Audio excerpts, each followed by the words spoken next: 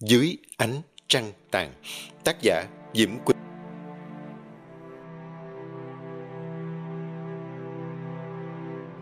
Bà đi đi. Bà không phải là má tôi.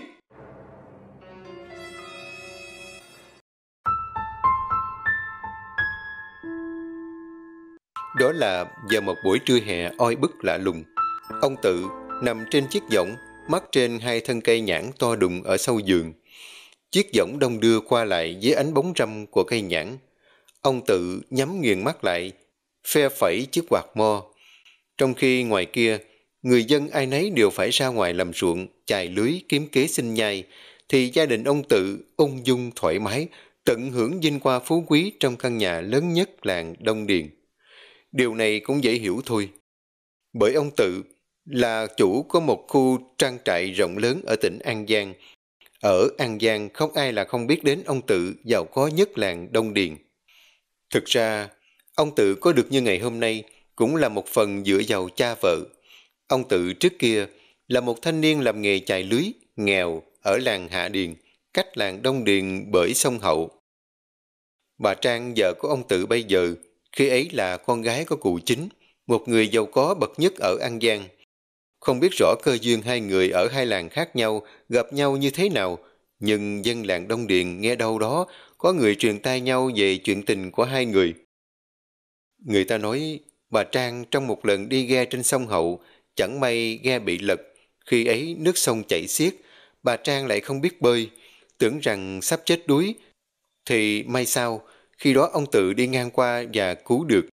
Cũng nhờ chuyện này mà ông tự một bước lên tiên cưới được con gái của người giàu nhất An Giang. Sau khi cưới bà Trang, ông tự cũng rời làng Hạ Điền chuyển sang làng Đông Điền ở rễ. Cụ chính khi ấy, chỉ có một người con gái là bà Trang, không hề có một người con trai nào khác. Vì thế sau khi cụ chính mất, ông tự nghiễm nhiên trở thành người nắm giữ toàn bộ số tài sản kết xù, bao gồm đất đai và những khu vườn rộng lớn, cộng thêm việc có chí thú làm ăn nên gia đình của ông Tự ngày một giàu có hơn. Mặc dù giàu có, nhưng ông Tự không bao giờ tự mãn, lại luôn giúp đỡ mọi người xung quanh, nên trong làng ai nấy đều yêu quý ông, thậm chí còn rất tôn trọng ông. Tuy gọi ông là ông Tự, nhưng thực ra ông chỉ mới hơn 30 tuổi. Gọi như vậy là để thể hiện sự tôn trọng đối với ông. Hôm nay, nhân dịp trưa hè, ông Tự lại có nhã hứng ra sau giường ngủ trưa, nên bắt chiếc võng dưới bóng hai cây nhãn để nằm. Ông tự nằm trên võng thư thái ngẫm nghĩ sự đời. Đột nhiên từ đâu, một tên người làm chạy đến, nét mặt hốt quảng, mồ hôi đầm đìa, nhìn như có chuyện gì đó rất nghiêm trọng vừa xảy ra. Tên người làm kia thì không giấu nổi sợ hãi, khuôn mặt vẫn tái ngắt không một giọt máu. Anh ta đưa mắt lo sợ nhìn ông tự. Ông ơi, ông... Bà Trang, Bà Trang... Hắn cứ lắp bắp hoài không ra câu, khiến cho ông tự bực mình. Ông tự cau mày nhăn nhó, ngồi dậy nhìn tên người làm kia. Nè, trưa trời trưa trật rồi á, mày định không cho ai nghỉ ngơi hay sao mà lớn tiếng dữ vậy? Tên người làm kia thì không giấu nổi sợ hãi, khuôn mặt vẫn tái ngắt không một giọt máu. Anh ta đưa mắt lo sợ nhìn ông tự. Ông ơi, ông... Bà Trang, bà Trang... Hắn cứ lắp bắp hoài không ra câu, khiến cho ông tự bực mình. Ừ, thằng cha mày, có chuyện gì liên quan tới bà thì nói mau lên đi, mày làm ta sốt ruột quá rồi đó. Tên người làm ngẩng đầu lên nhìn ông, đôi môi run run nói. Ừ, ông ơi, bà Trang chết đuối ở sông Hậu được người ta dớt lên, bây giờ xác của bà đang ở gần sông kia rồi. Ông tự nghe tin dữ lập tức cùng tên người làm chạy ra xem tình hình như thế nào. Bây giờ đang là mùa hè nên nước sông cũng có phần chảy xiết. Bà Trang lại không biết bơi, không biết giữa trưa ra sông làm cái gì để xảy ra cớ sự như vậy chứ. Ông tự hớt hải chạy đến nơi người ta tìm thấy bà Trang.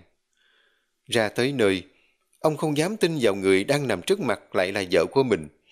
Toàn bộ quần áo trên người bà Trang ướt sũng, đôi môi nhợt nhạt, cùng khuôn mặt trắng bệch không có sự sống. Lúc phát hiện ra bà Trang, mọi người đã làm hết tất cả những gì để có thể cứu sống bà, nhưng đều thất bại, đành bất lực nhìn bà ra đi.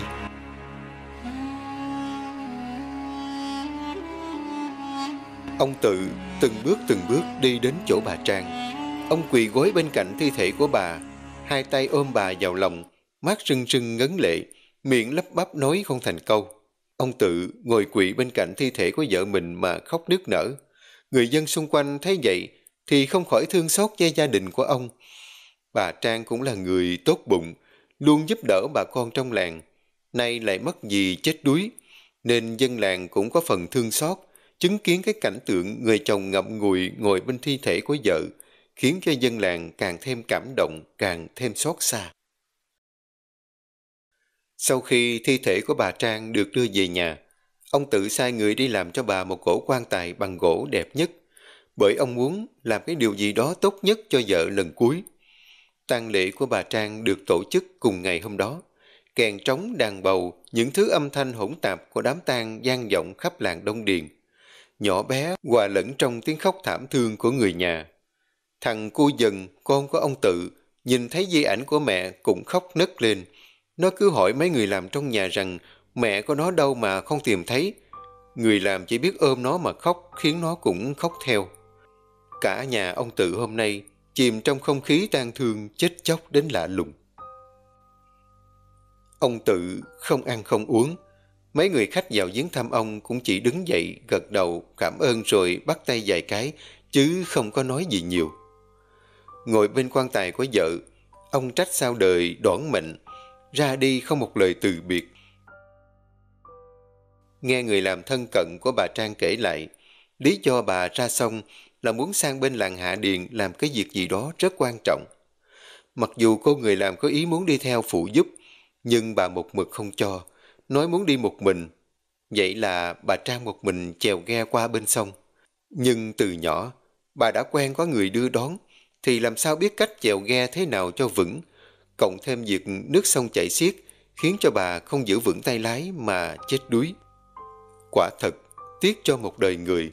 Giá như lúc đó, bà Trang không đi một mình thì có lẽ sẽ không xảy ra sự việc thương tâm như vậy.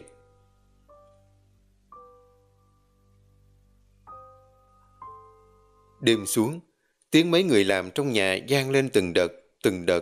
Ở phía dưới nhà bếp, ai nấy đều bận rộn tổ chức cho tang lễ ngày mai. Thằng cô dần khóc mệt quá cũng thiếp đi từ lúc nào. Trong căn phòng khách rộng lớn, nơi hương khói mờ ảo bao phủ tất cả, một chiếc quan tài bằng gỗ được thiết kế tinh tế, đặt ở giữa gian phòng đối diện với bàn thờ tổ tiên.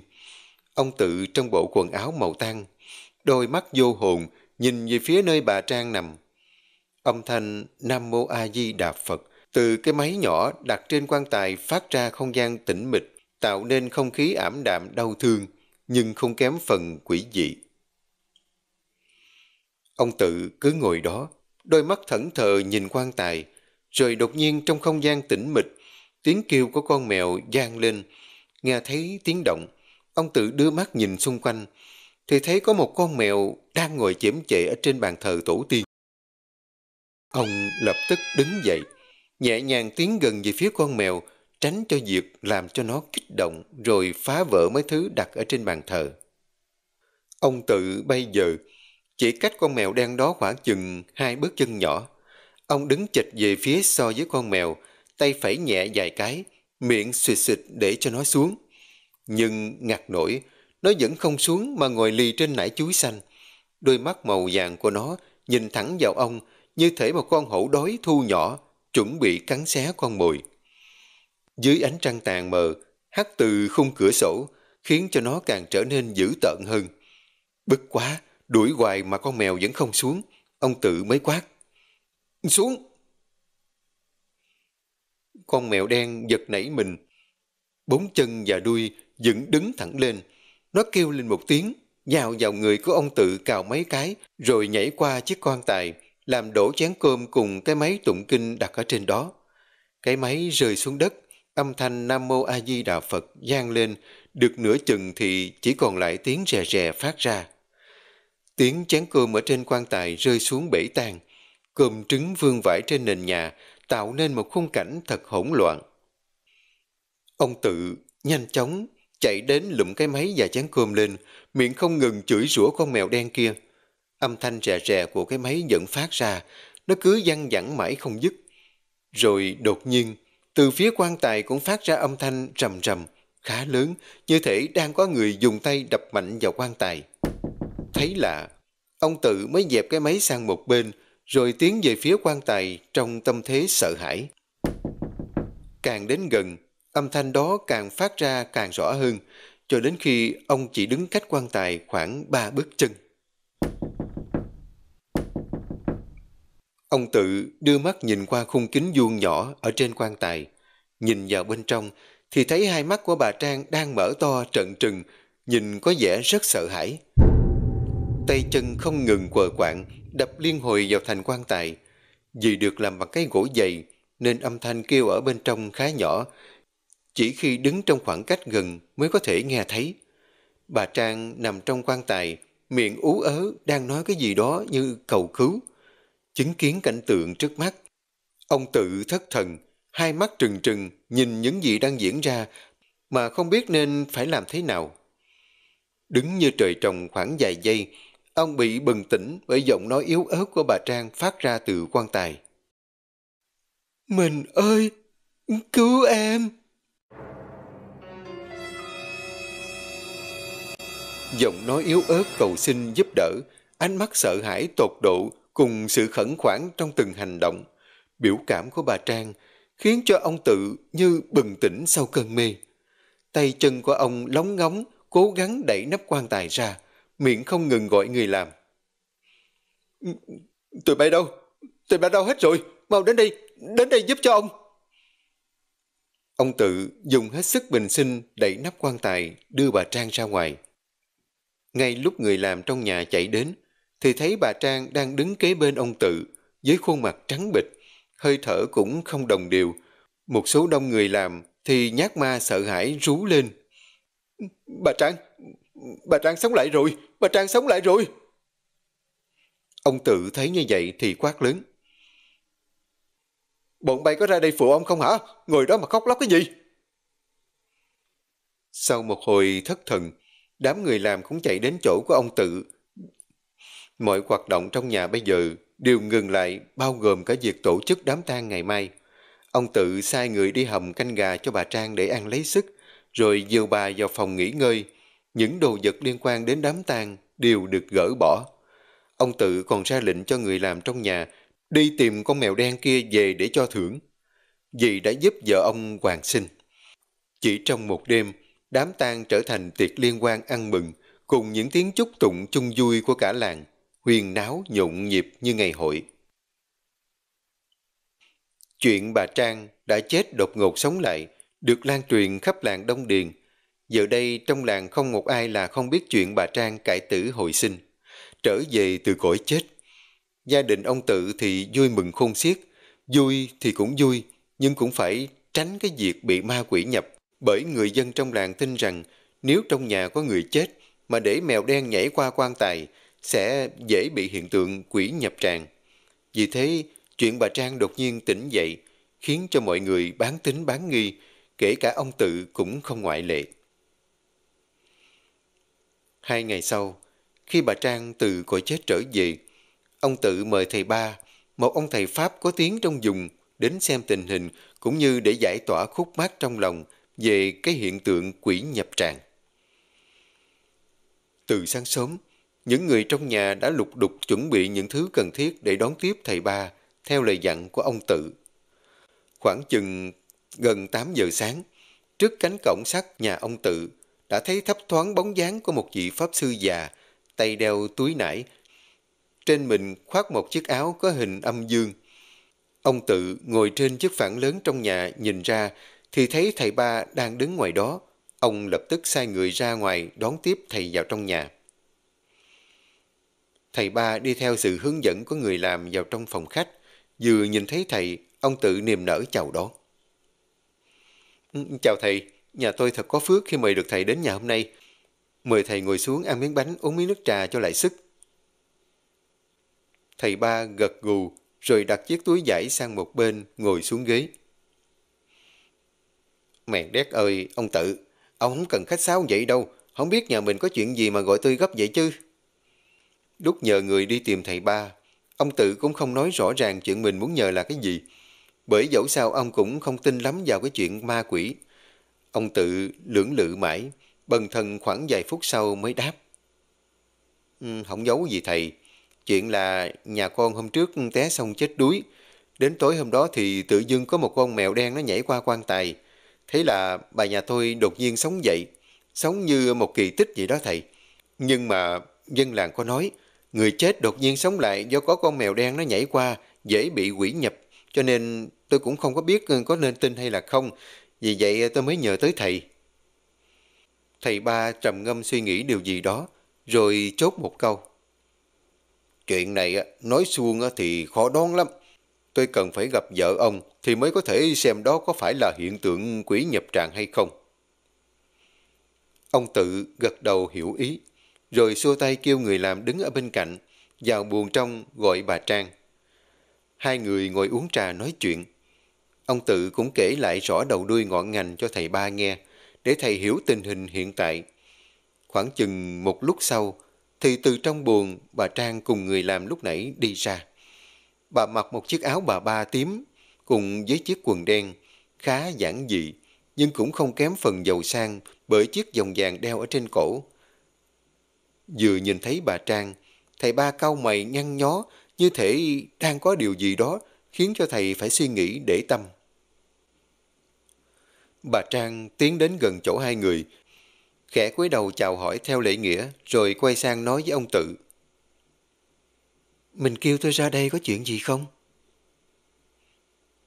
Ông Tự nhìn bà Trang rồi ra hiệu cho bà ngồi xuống. Đợi đến khi bà đã ngồi xuống bên cạnh mình, ông mới lên tiếng. Ừ, mình à, đây là thầy ba, một thầy Pháp có tiếng trong vùng mình đây. Hôm nay tôi mời thầy đến đây để xem tình hình sức khỏe của bà như thế nào. Từ ngày tỉnh dậy đã đỡ hơn chưa? Bà Trang cười nhẹ gật đầu hiểu ý của chồng mình. Còn thầy ba, từ lúc bà Trang xuất hiện đến bây giờ, thầy cứ nhìn chăm chăm vào bà. Không phải ánh mắt thèm khát của một tên dây sộm, mà hình như thầy đang tìm kiếm cái gì đó rất quan trọng. Thầy ba khẽ nhíu mày nhìn bà Trang rồi hỏi. Ừ, bà Trang nè, bà còn nhớ tại sao mình té xong không? Bà Trang ngẫm nghĩ một hồi rồi đáp. Ừ, tôi nhớ cách đây hai hôm, tôi có việc phải sang làng Hạ Điền nên mới chèo ghe qua bên sông. Nhưng ngặt một nỗi nước sông chảy xiết, mái chèo tôi lại không có vững nên là té sông thôi. Thầy ba nghe như vậy gật gù, khẽ vuốt bộ râu dài của mình ba cái rồi hỏi tiếp. Vậy à, bà có nhớ bà đi qua làng Hạ Điền làm cái gì không? có, tôi qua bên đó gặp một người bạn lâu năm. Bà ấy đi biển biệt mười mấy năm mới về. Nay có dịp gặp nên tôi muốn đi một mình sang làng Hạ Điền. Bạn bè lâu năm không có gặp nên cũng có nhiều chuyện để tâm sự. Thầy ba im lặng một lúc rồi hỏi câu cuối cùng. Vậy ờ, trước lúc nhập hồn vào xác bà đã đi đâu? Câu hỏi của thầy ba khiến cả gian phòng đột nhiên im lặng, không khí bắt đầu trở nên âm u quái dị hơn bao giờ hết. Ông tự đột nhiên im bặt không hé răng nửa lời, mặc dù không nhìn thẳng, nhưng thỉnh thoảng vẫn lén liếc nhìn sang bà Trang xem phản ứng của vợ mình ra sao. Mấy đứa người làm trong nhà đứng bên cạnh, chỉ biết cúi gầm mặt xuống, đến thở cũng không dám thở mạnh. Thầy ba vẫn giữ phong thái ung dung, điềm tĩnh chờ đợi câu trả lời của bà Trang. Nhận ra phản ứng kỳ lạ của mọi người đối với mình sau câu hỏi của thầy ba, bà Trang vẫn rất điềm đạm, cười rồi đáp. Tôi cũng không có nhớ rõ nữa thưa thầy. Tôi chỉ biết sau khi té xuống sông, mọi thứ xung quanh tôi chỉ còn lại là tiếng nước chảy. Rồi đột nhiên tôi mở mắt tỉnh lại thì thấy mình đang nằm trong quan tài. Mọi thứ xung quanh rất mơ hồ. Lúc nằm trong quan tài, tôi chỉ nghĩ đến chuyện làm sao thoát khỏi ra đó. Đến chính tôi cũng không biết được tại sao mình có thể tỉnh dậy được nữa. Mọi chuyện diễn ra quá nhanh nên tôi cũng không có thể nắm bắt. Thầy ba nghe xong cũng không nói thêm lời nào. Bầu không khí trong nhà bây giờ chỉ còn lại một khoảng không tĩnh lặng vô cùng. Mặc dù đã nghe được câu trả lời của bà Trang, nhưng ông tự vẫn không hiểu liệu nó có nghiêm trọng không. Bởi khi nhìn thấy nét mặt của thầy ba, ông thấy được sự đâm chiêu, cái khó hiểu trong ánh mắt của thầy. Nhưng ông đâu phải là thầy Pháp, mấy cái thứ liên quan đến chuyện tâm linh, ma quỷ ông đâu có biết. Giả lại, qua cách nói chuyện của bà Trang từ đầu đến bây giờ, không hề có dấu hiệu nào có sự bị quỷ nhập, nên ông tự cũng có phần an tâm. Sau khi im lặng suy nghĩ, thầy ba nói mọi người đi vào trong buồng để có thể một mình nói chuyện với ông tự. Nghe lời thầy, tất cả mọi người đều lui vào trong, trả lại không gian cho hai người nói chuyện. Bây giờ, trong phòng khách chỉ còn ông tự và thầy ba. Ông tự nè, tôi đã xem qua cho bà nhà rồi. Cũng có thể khẳng định là bà Trang không hề bị quỷ nhập. Ông tự chỉ cần nghe câu nói đó thốt ra từ thầy ba. Ông vui sướng ra mặt, mừng rỡ nói không thành câu. À, thầy, ờ, nói vậy thì mừng quá. Ờ, tôi thì không biết lấy gì cảm ơn thầy. Hay là thầy ở lại đây dùng cơm với nhà tôi được không? Thầy ba nhìn ông khẽ lắc đầu mỉm cười từ chối, rồi xách chiếc túi vải bên cạnh đeo lên vai rời đi. Ông tự cũng chỉ biết tiễn thầy ba đến cổng nhà. Hai người nói chuyện vài lời thì thầy ba mới đi. Ông tự đứng sau cánh cổng sắt nhìn bóng thầy khuất dần rồi mới vào trong. Thầy ba rời khỏi nhà ông tự khoảng chừng vài chục mét thì từ đâu hai người một nam một nữ chạy đến chỗ của thầy. Chàng thanh niên đứng bên cạnh nhanh nhẩu hỏi. Ừ, thầy ơi, ừ, chuyện nhà ông tự thế nào rồi? Thầy ba vẻ mặt trầm ngâm, nhìn khá bất an, như có điều gì đó cần phải nghĩ, nhưng không có thể nhớ ra. Thầy trầm mặt khoảng chừng vài giây rồi đáp. Thầy cũng không có rõ nữa. Mọi chuyện có vẻ rất là ổn. Nhưng thật ra lại có điều gì đó khiến cho thầy không an tâm. Người phụ nữ đó đã từng chết hụt một lần, nhưng mà lần này lại... Dứt lời, thầy ba thở dài một tiếng. Không có gì rõ ràng cả. Tất cả đều rất mông lung, như thể đang có cái gì đó che mắt. Thấy thầy ba đau đầu vì chuyện không đâu, chàng thanh niên kia nói bừa một câu. Ôi, thầy ơi, thầy nghĩ nhiều chi, chuyện người ta nhờ thầy cũng làm rồi. Có mấy đồng công ít ỏi thì cũng có vậy thôi. Thầy ba nghe chừng không thoải mái. Thầy câu có, giọng nói điềm tĩnh khi nãy không còn nữa. Thay vào đó là sự răng đe. Còn nói như vậy là không được. Chúng ta hành nghề liên quan tới tâm linh.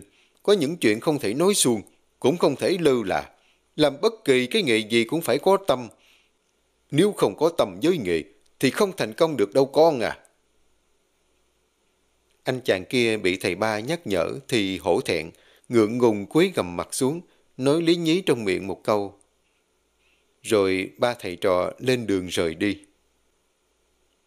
Về phía ông tự, sau khi được thầy Pháp giỏi nhất dùng, nói là vợ mình hoàn toàn bình thường, thì vui mừng ra mặt. Tối hôm đó, ông sai người nấu những thứ bà Trang thích nhất để mừng vợ mình cải tử hồi sinh. Chuyện này cũng được lan truyền ra bên ngoài. Trong làng ai cũng cho rằng nhà ông tự làm nhiều chuyện tốt, tích đức lớn nên được trời Phật phù hộ. Nhưng có lẽ niềm vui đó không hoàn toàn trọn vẹn bởi thằng dần nó bắt đầu có những thái độ lạ với bà Trang sau khi bà tỉnh dậy từ cõi chết. Nó thường xuyên quấy khóc khi bà Trang tới gần, hay cãi nhau tay đôi với bà, thậm chí còn tỏ ra rất khó chịu khi thấy bà nữa. Thật không giống nó như thường ngày một chút nào. Tuy vậy, mọi người vẫn không để tâm tới, bởi ai cũng nghĩ có lẽ nó vẫn chưa chấp nhận được cái chuyện mà mẹ mình đột nhiên sống dậy trong quan tài. Đêm xuống, bên ngoài đường bây giờ chỉ còn lại ánh trăng vàng soi sáng cùng hơi thở nhịp nhàng của dòng sông Hậu. Làng Đông Điền chìm trong bóng đêm, cảnh vật tĩnh lặng lạ thường. Chỉ có tiếng bìm bịp và mấy con chó quang bất chợt lại tru lên từng hồi. Từng con sóng nhẹ nhàng lăn trên mặt sông êm ả. Khung cảnh nơi đây về đêm yên bình thanh thản, đậm chất miền Tây sông nước, khiến ai cũng phải say mê. Nhưng có lẽ đó chỉ là cái vỏ bọc bên ngoài che giấu đi những tội ác không thể nhìn thấy được.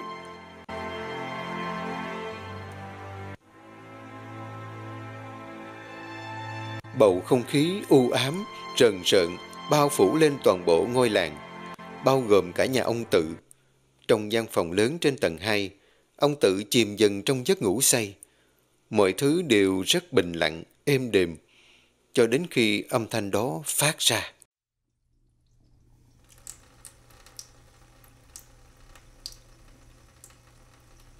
Ông Tự đang miên man ngủ, thì đột nhiên bên tai nghe thấy tiếng nước chảy tí tách từng giọt.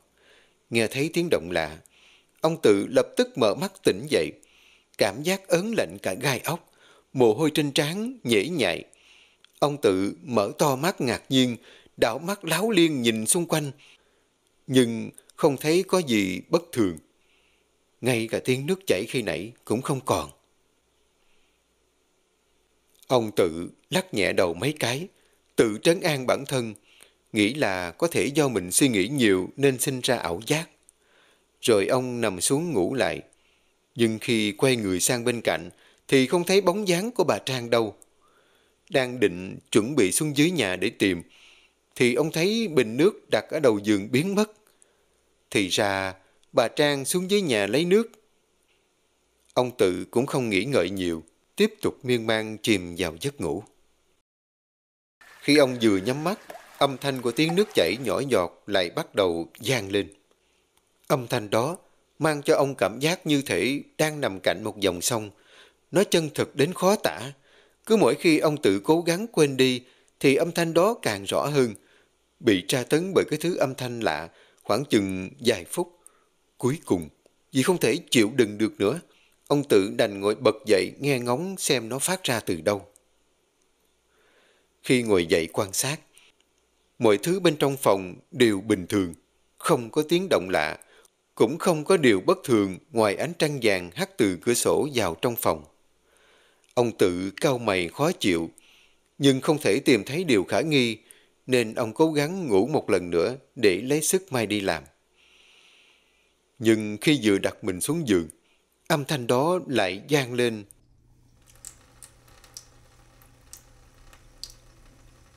Ông không thể nhận nhịn được nữa. Ông tự bật dậy hét toán lên. Là đứa nào? Là đứa nào bày trò ra hả? Không hồn thì mau ra đây đi. Nếu không thì đừng có trách tao ác à. Dứt lời, ông im lặng không đáp. Giống tay lên nghe ngóng tình hình, nhưng lại không có sự đáp lại. Ông tự nhìn quanh phòng một lượt, rồi toàn thân như bất động, không di chuyển nữa. Nét mặt hùng hổ tức giận khi nãy không còn. Thay vào đó là sự sợ hãi tột độ, mắt nhìn thẳng vào nơi góc tối trong căn phòng đối diện với chiếc giường. Ở trong góc khuất của căn phòng đó, dưới ánh trăng tàn mờ mờ ảo ảo, thấp thoáng cái bóng dáng một người phụ nữ trong chiếc áo bà ba trắng cùng mái tóc dài đen nhánh xõa ngang lưng. Người đàn bà đó còn đứng cùng một đứa trẻ khoảng chừng 5 tuổi. Hai người cứ đứng đó, nhìn chăm chăm về phía ông tự, không nhúc nhích. Cảnh tượng diễn ra trước mắt ông tự, không khỏi bàng hoàng, hoảng sợ. Mồ hôi trên trán túa ra như tắm. Sau lưng áo cũng ướt nhẹp, đôi mắt vô hồn đến lạ. Toàn thân run rẩy, chân tay bủng rủng không nói nên lời. Ông tự cố dùng chút sức lực của mình dồn hết vào cánh tay phải, rồi đưa tay lên chỉ về hướng của người đàn bà kia hét to. Đi, mày biến khỏi nơi đây cho tao. Người phụ nữ đó cùng đứa trẻ vẫn đứng im không nhúc nhích, không hé răng nửa lời, chỉ đứng đó mỉm cười rất lâu. Ông tự sợ hãi tột độ, nhưng lại không thể trốn chạy, bởi chân tay ông bây giờ bủn rủng, run rẩy, bản thân không thể điều khiển cơ thể. Quá sợ hãi, ông hét toán lên. Đi đi, mày đi đi! Ông vừa hét vừa cố dùng dãy. Ngạc nổi, mỗi lần di chuyển tay chân lại đau buốt ê ẩm. Nhưng sự việc trước mắt khiến cho ông quên đi cơn đau đang phải chịu đựng. Người phụ nữ đó vẫn đứng im, nụ cười mang rợ của bà ta gian vọng khắp căn phòng kín.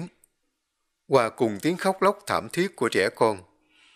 Tiếng hét của ông tự tạo nên một âm thanh hỗn tạp, chói tai. Ông tự dùng dãy mãi mới có thể điều khiển được hai tay. Ông dùng hết sức của mình, ném những đồ đạc gần ở bên về phía người phụ nữ kia. Ông càng ném, Tiếng cười của bà ta càng lớn hơn, càng mang sợ hơn. Tiếng khóc lóc trẻ con cũng lớn hơn. Trong âm thanh hỗn tạp của căn phòng, đột nhiên vang lên một tiếng hét cùng với tiếng đồ bể của thủy tinh. Tiếng động chen ngang vào âm thanh hỗn loạn đó, khiến cho ông tự bừng tỉnh. Ông giật mình, đôi mắt từ sợ hãi chuyển sang vô hồn. Ông cũng thôi, không ném đồ đạc trong phòng mình nữa. Ông đưa mắt nhìn về phía cửa chính, thì thấy bà Trang đang đứng đó. Dưới đất, nào là chăn gối, những thứ đồ đạc mà ông ném khi nãy cùng với chiếc bình đựng nước bằng thủy tinh bể nhiều thành mảnh vụn. Nước chảy lên láng khắp phòng. Bà Trang ngơ ngác, tay ôm tay ngạc nhiên nhìn ông tự. Bà nhìn xung quanh phòng một lượt. Chỉ một lúc sau khi bà đi, thì nơi đây đã biến thành một bãi chiến trường. Mọi thứ trong phòng đều lộn xộn bừa bãi tan quang. Không hiểu chuyện gì đang xảy ra, bà tiến đến chỗ của ông tự. Mình ơi, hồi nãy có chuyện gì xảy ra vậy mình?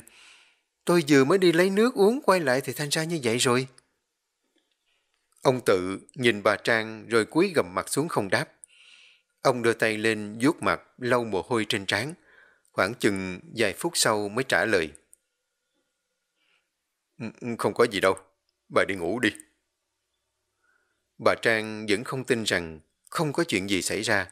Nếu không có chuyện gì, tại sao ông tự lại phản ứng gay gắt đến nỗi không biết rằng đã ném đồ vào vợ của mình? Bà Trang khều tay ông tự hỏi. Tôi biết chắc chắn là phải có chuyện gì đó rồi. Mình cứ kể cho tôi nghe, biết đâu tôi giúp được thì sao? Ông tự lắc đầu, xua tay nói. Tôi đã nói là không có chuyện gì rồi mà. Thôi, bà đi ngủ đi cho lại sức, sáng mai còn phải dậy làm việc đó. Dứt lời, ông tự xoay người xuống giường chuẩn bị ra khỏi phòng, thì bà Trang lên tiếng. Phía rồi, ông định đi đâu đó? Ông tự tiến thẳng về phía cửa, vừa đi vừa nói. Tôi ra ngoài hít thở cho nó thoáng một chút, bà cứ ngủ trước đi, tôi vô sau. Đêm khuya lạnh lắm đó, ông nhớ mặc thêm áo nghe. Bà Trang từ trong phòng nói giọng ra. Ông tự không màng để tâm đến lời nhắc nhở của vợ. Cứ bước từng bước nặng nề ra khỏi ban công. Vì ngôi nhà được xây theo cấu trúc hiện đại hai tầng, nên khi đứng bên ngoài ban công, có thể nhìn thấy con sông Hậu chảy qua làng. Ông tự chắp tay sau lưng, hít một hơi thật sâu để cảm nhận được không khí trong lành. Nơi đây sông ngồi kênh rạch nhiều vô số kể, nhìn đâu cũng thấy nước. Ngày thường thì ông tự rất thích khi đứng trên ban công, ngắm nhìn cảnh tượng này vào ban đêm. Nhưng hôm nay, ông lại không có nhã hứng đó. Mỗi lần nhắm mắt lại, cảnh tượng người phụ nữ mặc áo bà ba trắng đứng cùng với đứa trẻ lại xuất hiện trong đầu của ông. Gần 10 năm nay, mọi thứ đều diễn ra bình thường, không hề có một biến động. Vậy mà, chỉ sau một đêm, mọi thứ hoàn toàn thay đổi. Nó xảy ra nhanh chóng, đến nỗi con người ta không tài nào thích ứng kịp. Ông tự đứng đó hồi lâu, trầm ngâm chỉ lặng lẽ ngắm nhìn con sông đối diện. Dưới ánh trăng tàn, dòng sông như được sôi sáng, bình lặng, êm đềm trôi đi, nhưng cũng thấp thoáng đâu đó bóng dáng quen thuộc của một người ven sông. Sáng sớm hôm sau, khi mặt trời dần ló dạng sau những rặng tre làng, tiếng gà gáy vang vọng khắp xóm làng đông điền nhỏ bé. Trong nhà của ông tự đã bắt đầu có tiếng nói, tiếng phân công nhau quét dọn của những người giúp việc. Bà Trang từ từ mở mắt sau một đêm dài không mấy ngon giấc. Vừa tỉnh dậy, xung quanh bà là một bãi chiến trường hỗn độn, đồ đạc bề bộn tứ tung. Cái bình thủy tinh bị bể tối hôm qua vẫn còn nguyên dạng mảnh sành dưới sàn. Còn dũng nước thì đã dần khô. Bà Trang cau mày nhăn nhó, từ trong phòng nói giọng ra ngoài. Con Thi đâu? Mày mau vào dọn dẹp phòng cho bà mau lên. Con Thi đâu rồi? Nghe thấy tiếng gọi, từ dưới nhà tiếng bước chân của con Thi gan lên lộp cộp, dội vàng. Từ bên ngoài giọng nói e dè sợ hãi. Dạ con đây, bà gọi con có gì không? Bà Trang liếc nhìn Thi một cái rồi cau giọng nói. Mày không thấy phòng của bà bừa bổn sao? Mau dọn đi chứ, dọn cho sạch sẽ đi. Giờ bà đi thay đồ chút nữa sẽ quay lại kiểm tra. Dạ, con làm ngay. Dứt lời, con Thi nó nhanh chóng lau dọn phòng, thu dọn lại những thứ đồ đã bể. Không biết tối hôm qua, ở trên nhà lớn đã xảy ra chuyện gì mà đồ đạc trong phòng lại rối tung lên hết. Vì vợ chồng ông Tự cùng thằng Dân ở trên nhà cách biệt khá xa với nhà dưới, nên cô Thi cũng không có thể đoán được đã có chuyện gì xảy ra. Nhưng cho dù thế nào đi chăng nữa, phận làm tôi tớ cũng chỉ nên biết nghe lời dọn dẹp là đủ. Trong lúc sắp xếp lại đồ đạc trong phòng, cô Thi vô tình làm bể cái bình hoa mà bà Trang thích nhất. Cái bình hoa rơi xuống đất bể toàn, âm thanh loãng xoảng gian lên khá lớn. Cũng là lúc bà Trang thay đồ xong. Bước ra ngoài, nhìn thấy mảnh vỡ qua cái bình dưới đất, bà Trang không tức giận mà ngược lại, cảm thấy khá bất ngờ trước thái độ của Thi. Biết rằng khi người giúp việc làm hư hỏng đồ của chủ nhà thì sẽ có tâm lý chung là lo sợ, Thi nó cũng vậy, tâm trạng nơm nớp lo sợ, tay chân run rẩy. Bà Trang tiến gần đến chỗ nó, khẽ hỏi. Cái bình này là mày làm bể phải không? Nghe thấy giọng bà Trang, Thi nó giật nảy mình, tim như muốn nhảy ra ngoài. Cô đưa đôi mắt sợ hãi, hoảng loạn, tột độ nhìn bà. Rồi đột nhiên, không đánh, không ép, Thi nó quỳ xuống đất dưới chân của bà Trang. Cô khóc lóc thảm thiết, hai tay còn ôm chặt lấy một bên chân của bà chủ, giọng nói khẩn khoản cầu xin. Bà ơi, cái bình này do con làm bể, nhưng con chỉ vô tình thôi chứ không có phải cố ý, nên mong bà, mong bà đừng có đánh con. Thì nó cầu xin trong nước mắt, hai tay run run níu chặt chân của bà Trang. Nước mắt chảy đầm đìa trên má. Bà Trang nhìn cô khó hiểu rồi đáp. Nè, sao mày lại khóc? Nó cũng chỉ là một cái bình thôi mà. Bể rồi thì mua cái mới. Làm sao phải khóc lóc chứ? Mày mau dọn đóng đồ bể đó đi rồi xuống nhà phụ dọn dẹp kìa. Thì nghe những lời nói đó từ bà Trang, liền thay đổi thái độ, từ sợ hãi tột độ đến kinh ngạc không thốt nên lời. Con Thi nó dần buông tay ra khỏi chân của bà Trang, bí mật tự nhéo mình mấy cái xem có phải sự thật hay không. Khi nhéo, cô khẽ trao mày, quả thật rất đau. Những điều diễn ra trước mắt của cô là thực chứ không phải mơ. Thì ngơ ngác một hồi, nước mắt cũng không rơi nữa, bần thần một lúc cô mới nói. Bà, bà nói thiệt chứ, bà sẽ không có đánh con hả bà? Bà Trang tay chống lưng đáp. Tao giỡn với mày làm cái gì? Mau dọn dẹp rồi xuống nhà dưới đi. Dứt lời, bà Trang bỏ đi, để lại Thi trong phòng một mình. Cô nghĩ đi nghĩ lại, kể cũng lạ. Bà Trang hôm nay không giống mọi ngày một chút nào. Ngày thường thì cứ hãy động đến đồ của bà ta yêu quý, hay vô tình làm bể đồ đạc. Bà Trang sẽ nổi giận đùng đùng rồi đánh cho một trận như tử. Nhưng hôm nay, lại chỉ kêu Thi dọn dẹp mà không lấy một lời chửi mắng. Con Thi nó nghĩ đi nghĩ lại, có phải do bà Trang chết đi sống lại nên mới trở thành như vậy không? Cái bình bông mà cô làm bể đâu phải loại rẻ tiền. Đó là một cái bình đẹp do một nghệ nhân làm gốm lâu năm tặng cho ông tự. Vì thích nó nên bà Trang mới dùng để làm cái bình cắm hoa. Đối với bà Trang mà nói, cái bình là cái món đồ yêu thích. Vậy mà khi cô làm bể nó, bà Trang chỉ dững dưng nói không sao, có thể mua cái mới. Không những vậy, còn không có lấy một câu trách mắng. Mặc dù không biết chuyện gì xảy ra, nhưng dù sao cũng thật là may khi cô không bị bà đánh. Thì nhanh chóng thu dọn đống miệng bể trên bàn, rồi xuống dưới nhà dọn dẹp. Mới sáng sớm, ông tự đã phải rời khỏi nhà để đi làm. Nên trong nhà chỉ còn bà Trang, thằng Dần và mấy người làm. Hôm nay lại nhân dịp thằng Dần nó được nghỉ học, nên bà muốn dẫn nó đi chơi đâu đó cho khuây khỏa. Bà vô phòng thằng Dần, đẩy cửa bước vào thì thấy nó đang ngồi học bài. Thấy cảnh tượng đó, bà hài lòng mỉm cười, tiến gần đến chỗ nó nói.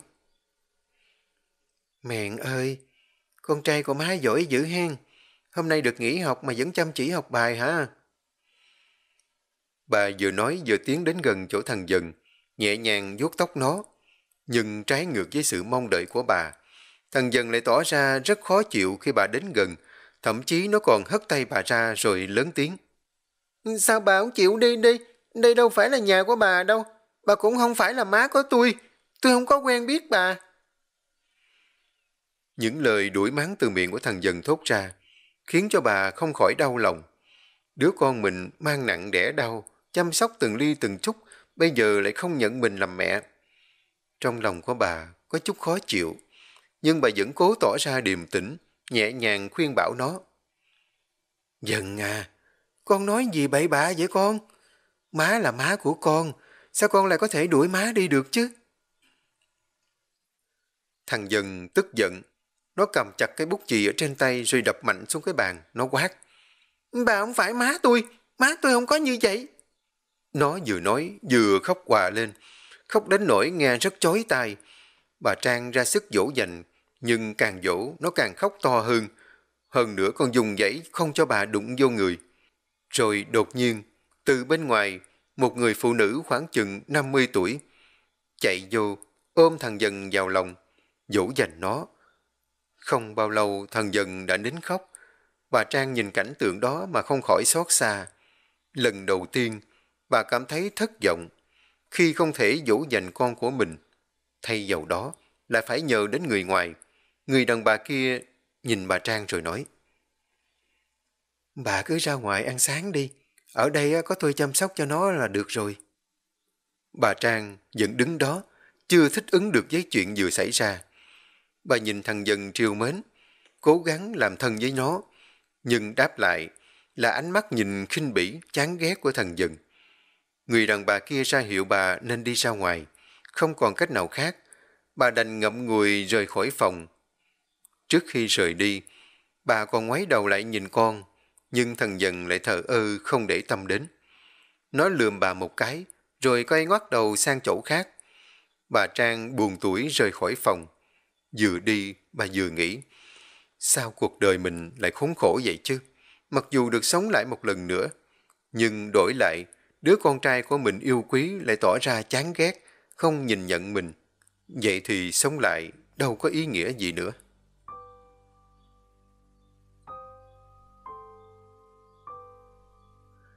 Trong gian phòng của nhà bếp, hương thơm của đồ ăn loan tỏa khóc phòng, khiến ai nấy đều cảm thấy cồn cào ruột gan, muốn ăn những món hấp dẫn trên bàn.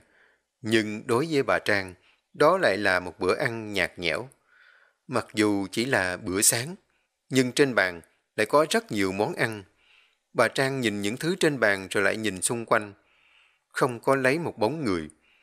Bà ngồi một mình trong căn phòng lớn với bữa ăn thịnh soạn trên bàn.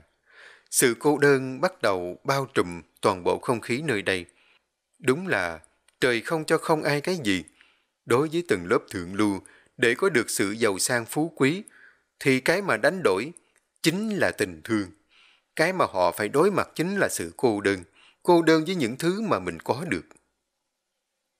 Từ sáng sớm, ông tự đã có mặt tại khu vườn của mình để kiểm tra mấy vườn cam, vườn quýt để xem chất lượng, cũng như đón tiếp các lượt khách du lịch.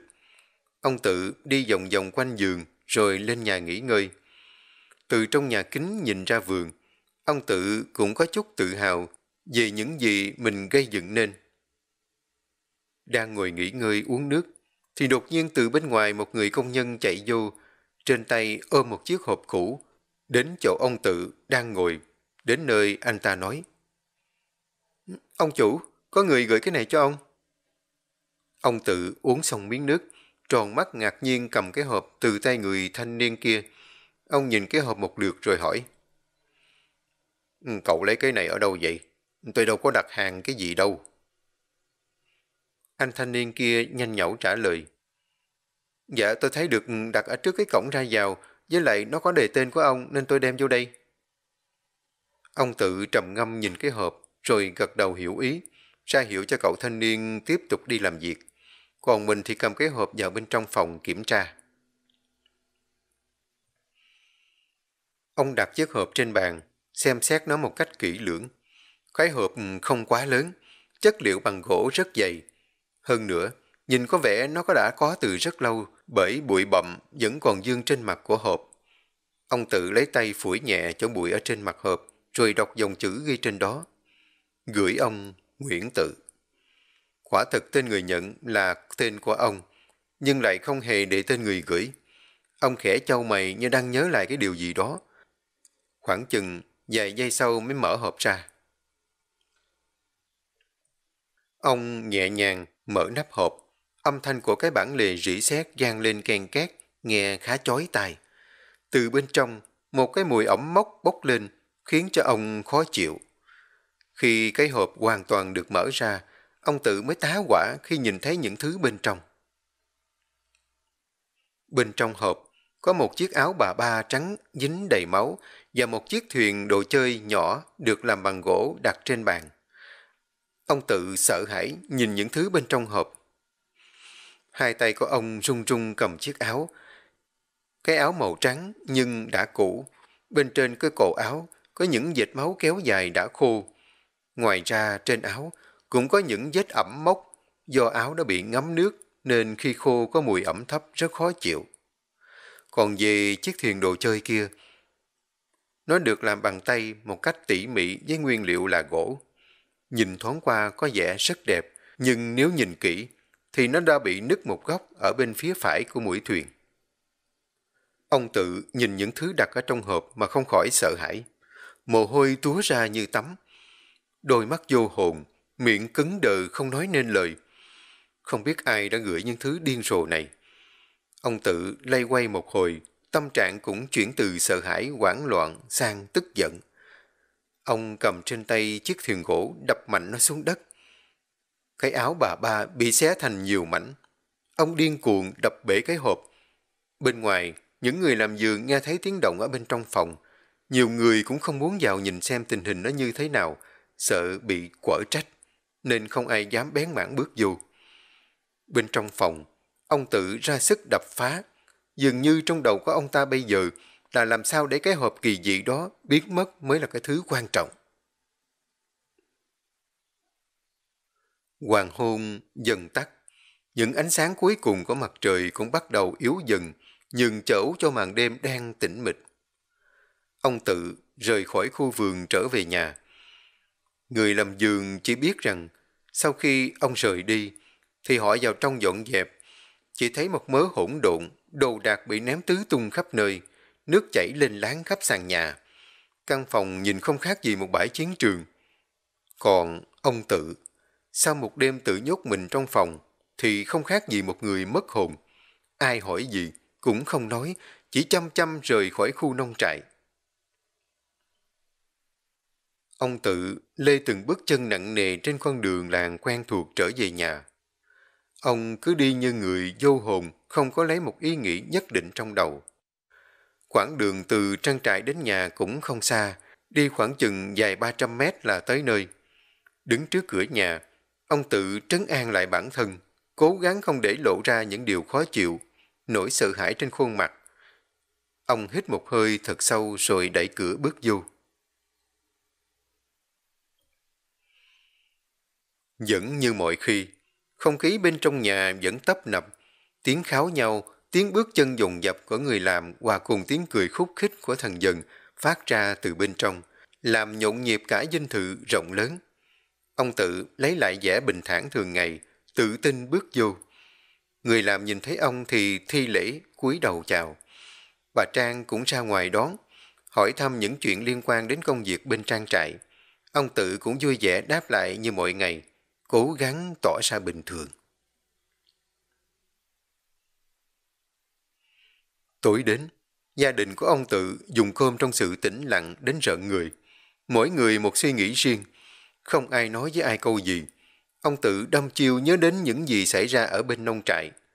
Thằng dân thì vừa ăn cơm vừa liếc nhìn mẹ nó bằng ánh mắt không mấy thiện cảm.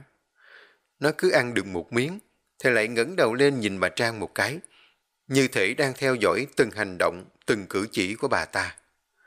Còn bà Trang thì không biết đang nghĩ gì trong đầu, mà chỉ toàn thấy ngồi im như một pho tượng, thỉnh thoảng mới gấp vài miếng thức ăn vào trong chén. Ba người, ba luồng suy nghĩ riêng biệt, không nói với nhau được một lời. Mấy người làm trong nhà thấy vậy, cũng chỉ biết lặng lẽ mà làm việc. Nếu không phải trong nhà có người, thì có lẽ những người ngoài kia sẽ nghĩ đây là một dinh thự bị bỏ quang, bởi ngoài ánh sáng của ánh đèn điện thì hoàn toàn không có tiếng nói, không có tình thương. Khoảng không im lặng bao trùm căn nhà chừng một lúc, thì đột nhiên thần dần nó khiều nhẹ tay của ông tự. Ừ, ừ, tía ơi, tía đuổi bà này đi khỏi nhà mình đi, bà ấy không phải má con đâu. Câu nói của thần dần làm mọi hoạt động trong nhà đột nhiên dừng lại.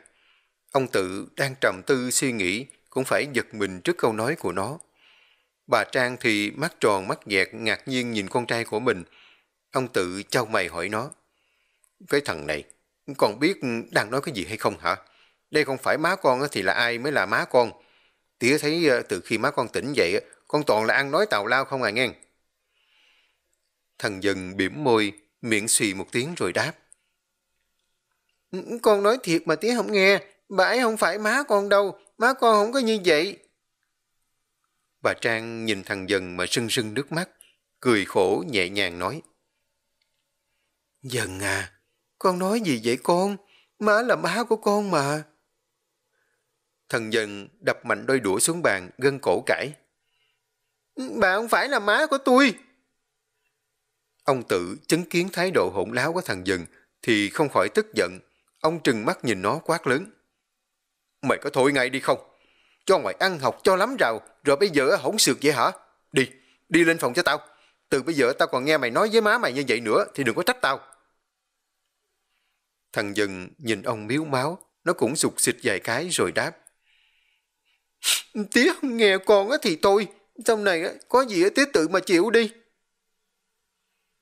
Dứt lời, nó chạy một mạch lên phòng, vừa chạy vừa khóc.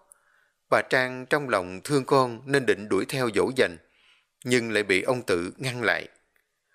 Quả thực, từ lúc bà Trang sống lại đến bây giờ, thần dân nó có chút khác lạ. Nó không thân thiết với má nó như trước nữa. Thay vào đó là thái độ hung hăng hỗn láo. Không biết nguyên nhân gì đâu khiến nó trở nên như vậy. Thái độ chán ghét của thằng dần với má nó ngày càng rõ rệt hơn. Người ngoài nhìn vào thì không khỏi xót thương cho bà Trang. Khi tỉnh lại, thì đứa con của mình lại thành ra như vậy. Quả thực, quá đau lòng. Sau khi mọi người dùng cơm xong, mấy người làm trong nhà dọn dẹp rửa chén. Ở nhà dưới, tiếng xả nước, âm thanh của chén đũa da chạm vào nhau, hòa cùng với tiếng nói chuyện của mấy người phụ nữ. Họ vừa làm việc vừa bàn tán về bà Trang. Một người trong số họ đột nhiên lên tiếng. Mấy bà có thấy bà Trang sau khi tỉnh dậy có khác thường không? Mọi người đều đồng thời gật đầu. Ai nấy đều cho rằng sau khi tỉnh dậy bà Trang có chút khác lạ.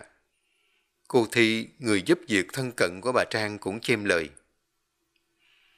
Tôi thấy bà Trang thay đổi nhiều dữ luôn. Mới sáng đây nè, tôi lên phòng dọn dẹp cho bà Trang, rồi vô tình làm bể cái bình bông mà bà quý nhất. Mà mấy người biết không, bà không có chửi tôi, không có đánh tôi, mà còn nói bể rồi thì mua cái khác. Tôi nghe xong á mà đứng hình luôn. Thi vừa kể vừa diễn tả lại hành động của bà Trang cho mọi người xem. Người làm trong nhà ai cũng phải gật gù xem xét. Nói thật, một người cao ngạo khó tính như bà Trang mà đột nhiên lại trở nên dịu dàng thì thật đúng là rất kỳ lạ. Thực ra, ở bên ngoài, người làng thường biết đến bà Trang là một người phụ nữ hiền thục, nết na và luôn giúp đỡ những người có hoàn cảnh khó khăn. Nhưng những gì mọi người thấy đều là một cái vỏ bọc, một vỏ bọc hoàn hảo che giấu rất nhiều tội ác. Thực chất, bà Trang không phải người hiền thục mà là một con người dễ nổi nóng và hay trút giận lên người khác.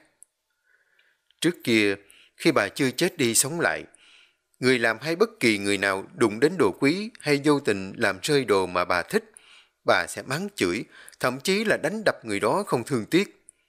Điển hình như cô Thi. Có lẽ vì điều này mà mọi người cảm thấy bà Trang không giống như bà Trang trước kia. Những lời bàn ra tán vô, âm thanh xì xào của mấy người giúp việc gian lên, làm bầu không khí trong dinh thự bớt đi sự u ám, bớt đi sự ớn lạnh. Đêm nay, ánh trăng khác hẳn với đêm hôm qua, tròn và sáng hơn rất nhiều. Dù đã khuya, nhưng ông tự vẫn không thể ngủ được. Hễ nhắm mắt lại thì bao nhiêu điều ập đến trong đầu, khiến cho ông không thể ngon giấc. Ông say qua lăn lại nhiều lần. Cuối cùng, vẫn quyết định cố gắng ru mình vào giấc ngủ. Nằm trằn trọc khoảng một lúc, ông bắt đầu chìm vào trong giấc ngủ chập chờn. Mọi thứ dần mơ hồ xa vời tầm nhìn. Đôi mắt cũng bắt đầu liêm diêm. Rồi đột nhiên, trong khoảng không tĩnh lặng đó, âm thanh của tiếng nước nhỏ giọt lại gian lên tí tách. Nghe thấy tiếng động, ông tự tròn mình tỉnh dậy, ánh mắt sợ hãi kiểm tra xung quanh phòng, nhưng vẫn không thấy điều gì bất thường. Rồi ông lại nằm xuống ngủ tiếp, lấy hai tay bịt tai lại để không phải nghe tiếng động đó nữa. Âm thanh đó gian lên khoảng hai ba lần rồi dừng hẳn. Nhận ra không còn mối lo ngại, ông tự cũng yên tâm ngủ tiếp. Mọi thứ bắt đầu trở về với không gian tĩnh mịch của màn đêm yên tĩnh. Ông tự vẫn nằm im không động đậy. Hình như ông biết những chuyện đang diễn ra, nhưng lại cố phủ nhận nó. Ông nằm im, thở cũng không dám thở mạnh. Hai mắt nhắm chặt lại, cố quên đi những âm thanh bên tai. Nhưng càng cố quên, nó càng dữ dội hơn. Rồi đột nhiên, một tiếng ùm vang lên, khiến cho ông giật nảy mình. Từ đó, âm thanh của một người nào đó bị rơi xuống sông. Sau âm thanh đó là những tiếng kêu cứu, tiếng ngụp lặng khó thở của người sắp chết đuối. Tiếng nước bắn tung tóe khi có người cố gắng giải giụa. Những thứ âm thanh hỗn tạp đó cứ bủa dây lấy ông. Ông tự cố bịt tai lại để không phải nghe chúng. Thế lại càng rõ ràng hơn. Trong cái thời khắc hỗn loạn đó, từ đâu gian lên giọng nói của một người phụ nữ nhẹ nhàng, thỏ thẻ, lẫn trong đó là sự căm phẫn và tức giận. Mình có biết rằng tôi đã đi tìm con suốt gần 10 năm hay không? Tại sao mình lại làm vậy với tôi? Tại sao lại làm như vậy? Giọng nói của người phụ nữ đó gian lên bên tay, khiến cho ông tự giật mình tỉnh giấc. Hai mắt mở trợn trừng. Ông bật dậy, hô hấp khó khăn, mồ hôi trên trán nhễ nhại, toàn thân ướt sũng như thể vừa rớt xuống nước. Ông cố lấy lại bình tĩnh, nhưng tim lại đập mạnh hơn, không thể hồi phục trong tích tắc được. Những gì vừa diễn ra, âm thanh kêu cứu, tiếng dùng dãy cùng giọng nói của người phụ nữ bí ẩn đó, khiến cho ông trở nên thất thần, không thể xác định được đâu là thực, đâu là mơ. Ông tự hai tay ôm mặt suy nghĩ. Đang mê man trong mớ bồng bông, thì từ đằng sau một bàn tay trắng toát đặt lên vai của ông cùng giọng nói nhỏ nhẹ gian lên. Mình ngồi đây làm cái gì vậy? Nghe tiếng nói, ông tự giật mình quay lại, vẻ mặt hoảng sợ, tột độ nhìn về đằng sau, thì thấy là vợ của mình đang nhìn mình bằng ánh mắt lạ lẫm. Ông bàng hoàng trong giây lát, rồi nhanh chóng lấy lại bình tĩnh đáp. Ừ, ờ, ờ, ừ, không có gì. Ông tự chưa nói hết câu, thì bà Trang đã đưa tay lên trán lau mồ hôi cho ông, vẻ mặt lo lắng. Mình gặp ác mộng hả? Hay có chuyện gì khúc mát phải bận tâm mà trán nhễ nhại mồ hôi vậy? Ông tự nhìn bà Trang rồi lắc đầu không đáp. Hôm nay đã là đêm thứ hai ông gặp ác mộng như vậy. Không hiểu tại sao người phụ nữ đó luôn bám theo ông. Cứ mỗi lần nhắm mắt thì hình ảnh người đó lại hiện lên, khiến cho ông không tài nào ngủ được. Nhưng không muốn vợ mình phải lo lắng, ông cười đáp. Um, tôi không có sao, chắc là do công việc ngoài giường khá nhiều nên đâm ra có chút không có vui. Thôi, khuya rồi, mình mau đi ngủ đi. Dứt lời, ông nằm xuống giường, cố tỏ ra bình thản, nhắm chặt mắt lại, dù bên tai vẫn còn văng vẳng giọng nói của người phụ nữ. Bất luận thế nào, ông tự cũng không muốn người khác biết được những chuyện mình vừa trải qua. Vì vậy, ông im lặng là sự chọn lựa tốt nhất. Bà Trang thấy vậy, cũng nghe theo lời của chồng, tắt đèn, đi ngủ. cả căn phòng đã chìm dần vào sự tĩnh lặng. Sáng sớm hôm sau, khi tỉnh giấc, ông tự nhìn sang bên cạnh thì đã không thấy bà Trang đâu. Xuống dưới nhà hỏi người làm thì được biết bà Trang đã rời đi từ sáng sớm. Nghe đâu là sang bên làng Hạ Điền gặp người quen. Không cần biết người quen đó là ai, chỉ cần biết khi nghe xong chuyện bà Trang một mình sang làng Hạ Điền, ông tự đã rất tức giận, quở trách người làm tại sao lại để cho bà đi một mình. Nhưng lần này, bà Trang không đi một mình mà nhờ người chèo ghe sang bên kia sông. Có lẽ sau chuyện chết đi sống lại lúc trước, bà cũng có chút cảnh giác hơn. Ông tự nghe người làm kể rõ tường tận thì cũng có chút an tâm, không còn hoảng loạn như lúc đầu, yên tâm để bà đi một mình. Bà Trang trên vai đeo một chiếc túi vải, đi ghe từ bên này xong qua bên kia đến làng Hạ Điền. Sau khi trả tiền xong, bà một mình đi vào trong làng.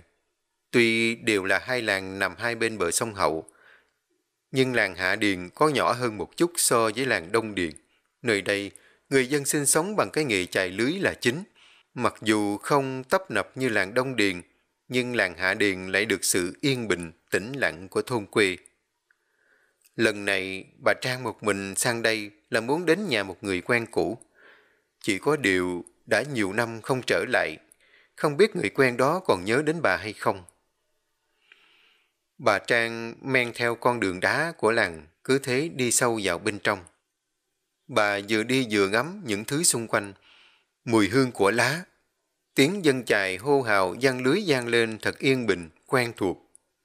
Cũng đã hơn 10 năm nay, chưa nhìn lại những cảnh tươi đẹp này, bởi suốt bao nhiêu năm qua bên tai bà chỉ là một tiếng nước chảy vô tận.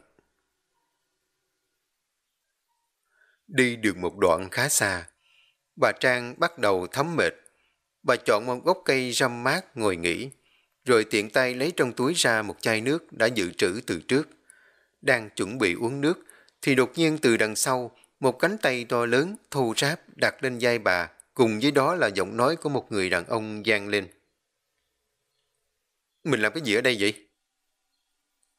Đột nhiên, có người lạ chạm vào, bà Trang giật nảy mình đứng bật dậy, đôi mắt quảng hốt nhìn ra đằng sau, thì thấy một người đàn ông trạc tuổi ông tự đã đứng sau lưng bà từ khi nào. Bà Trang tròn mắt ngạc nhiên. Ông là ai? Đứng đây làm gì? Chúng ta có quen biết hả? Nghe bà Trang nói, người đàn ông kia ngơ ngác. Trang, em nói cái gì lạ vậy? Tôi là Phán, chồng của em đi mà. Chồng của tôi? Bà Trang ngẩn người hỏi lại. Bấy giờ, bà vẫn chưa hiểu người đàn ông trước mặt của bà đang nói điều gì. Ông ta khẳng định ông là chồng của bà. Trong khi đó, ai cũng biết chồng của bà là ông Tự, chủ có khu nông trại lớn nhất An Giang. Bà Trang nhìn người đàn ông tên Phán kia bằng ánh mắt nghi hoặc. Bà tự hỏi, không biết ông ta có vấn đề về thần kinh hay không. Chần chừ một lúc lâu, bà Trang hai tay chống vào hông, dáng vẻ trịch thượng hỏi. Nè ông kia, đừng có mà ăn nói tầm bậy ở đây. Tôi không hề biết ông là ai, và tôi càng không phải là vợ của ông. Nếu không có chuyện gì thì tôi xin phép đi trước. Dứt lời, bà Trang định quay người bỏ đi, thì bị người đàn ông tên Phán kia kéo lại. Trang, em là sao vậy? Mới tỉnh dậy từ cõi chết lại quên anh rồi hay sao? Anh là Phán, là người mà em nói sẽ lấy làm chồng sau khi lão chồng bất tài của em chết mà. Câu nói của người đàn ông Phán khiến cho bà Trang đột nhiên khựng lại. Đứng im, bất động, không nói không rằng. Bà cứ đứng như vậy nhìn ông Phán, nét mặt đâm chiêu như đang suy nghĩ điều gì đó. Rồi đột nhiên trong một khoảng khắc ngắn ngủi, khóe miệng của bà Trang bất giác nở một nụ cười đầy ẩn ý. Nó diễn ra nhanh đến nỗi nếu không thật sự chú tâm quan sát, thì có lẽ sẽ không nhận ra. Bà nhìn ông Phán, lần này không phải là ánh mắt ngạc nhiên hay là nghi hoặc nữa, mà thay vào đó là ánh mắt triều mến, cử chỉ cũng dịu dàng hơn. Hình như bà đã nhận ra vấn đề gì đó. À, à tôi nhớ ra rồi, à, chắc tại mới chết đi sống lại, hồn phách còn ở trên mây nên tạm thời quên mất. Bây giờ thì tôi nhớ ra rồi. Mà sao đột nhiên mình lại ở đây vậy? Ông Phán nhìn biểu cảm của bà Trang giống như thường ngày, thì cười tươi rồi nói. Tôi có việc đi ngang qua bên đây, thấy mình ngồi một mình ở đây nên tôi mới tới hỏi thăm. Lúc đầu tôi cứ tưởng là mình quên tôi rồi chứ. Bà Trang cười trừ. Không, sao tôi quên được chuyện quan trọng đó. Ông Phán gật gù tỏ vẻ hài lòng, rồi ông hạ giọng xuống trầm hơn, ra vẻ nghiêm trọng hỏi bà Trang. Vậy ờ, chuyện của hai đứa mình thì tính làm sao? Còn về thằng chồng bắt tài vô dụng ở nhà nữa. Bà Trang trầm ngâm suy nghĩ một lúc rồi nói. Mình không cần phải bận tâm đến nó đâu. Tôi đã có cách giải quyết rồi. Dứt lời, hai người nhìn nhau cười mãn nguyện. Những nụ cười chứa đầy ẩn ý.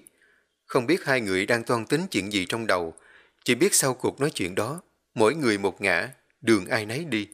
Như thể hai người không hề quen biết. Sau cuộc trò chuyện, bà Trang cũng rời đi, trong lòng chứa đầy sự toan tính. Bà cứ thế men theo con đường nhỏ của làng mà đi thẳng về phía cuối. Nơi đó có một ngôi nhà tranh tồi tàn rách nát không một bóng người. Bà Trang đứng lặng trước cửa nhà hồi lâu, đưa mắt nhìn quanh ngôi nhà tranh, nhẹ nhàng buông một câu. Về tới nhà rồi.